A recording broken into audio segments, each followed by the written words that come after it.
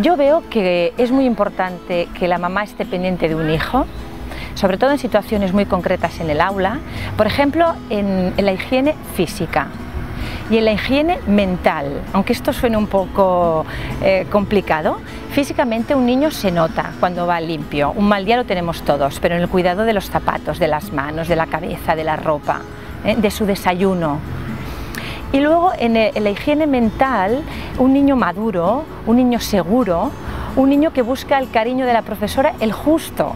Cuando busca excesivo, puede pasar que a veces haya una, necesidad en su casa ¿eh? y, y se establezca un desequilibrio entre lo que él necesita y lo que él tiene. El niño que se siente querido y se siente seguro, se siente feliz y esto se, nota rápido en el aula. Luego aparte, si hay algún tipo de problema o algún diagnóstico, eh, es evidente que la figura de la mamá o, de la familia detrás de, la tutora ayuda muchísimo a que el niño progrese. Un niño que efectivamente te, muestra signos que algo no, no funciona es cuando o está muy triste no tiene interés por nada o va buscando el cariño del adulto en grado superlativo. Que nos quieran nos gusta a todos y que estén por nosotros nos gusta a todos, aunque seamos adultos, pero todo en su punto medio.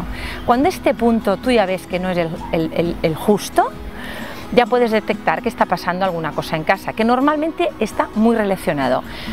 No puedo generalizar niño triste en casa hay una situación difícil porque tampoco sería justo, pero en un porcentaje altísimo seguro, seguro. Cuando la mamá está pendiente, cuando hay muy buena relación con la familia y el colegio, este niño funciona. Sí que es verdad que puede tener unas dificultades mayor que otro niño, pero muy bien canalizadas, porque hay alguien que está pendiente de esta situación, que reconoce que requiere más, más necesidad que en otro caso. Tengo 19 años casada y tres hijos. Al inicio de mi matrimonio decidimos, conjuntamente con mi marido, que me iba a dedicar a solo las labores del hogar. Es verdad que en ese momento podía hacerlo, es verdad, y esto es un tema muy importante que hay que resaltar, porque igual hoy alguna mamá querría y no puede. La seguridad que me daba el estar con mis hijos y lo contentos que estaban ellos es insustituible. Luego tuve tiempo para todo, para todo, para volver a estudiar, para eh, incorporarme en la vida laboral, para tener más, menos complicaciones, pero los primeros años son fundamentales porque son básicos para el desarrollo mental psíquico y físico de un niño. Luego me incorporé al mundo laboral a, tres horas a la, tres días a la semana, mm, porque mi prioridad siempre fue mi familia, siempre. Me acuerdo que cuando me llegó esta propuesta yo pensé, ¿esto lo puedo combinar con mi vida familiar? Sí, pues adelante. Si hubiera sido que no, hubiera dicho que no.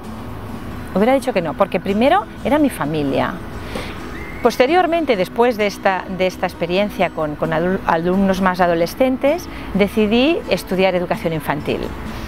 También con la misma pregunta, ¿la puedo combinar con mi vida familiar? Entonces ya fue más difícil la respuesta porque tuve que hablar con la universidad para ver si me dejaban hacer clases presenciales y clases no presenciales. Para los momentos importantes estar yo. La universidad me lo facilitó y así fue. Luego tuve que hacer trabajos aparte. Pero lo primero, la familia. De esta manera, cuando todo esto ha pasado con el tiempo, no tengo la sensación de tener asignaturas pendientes.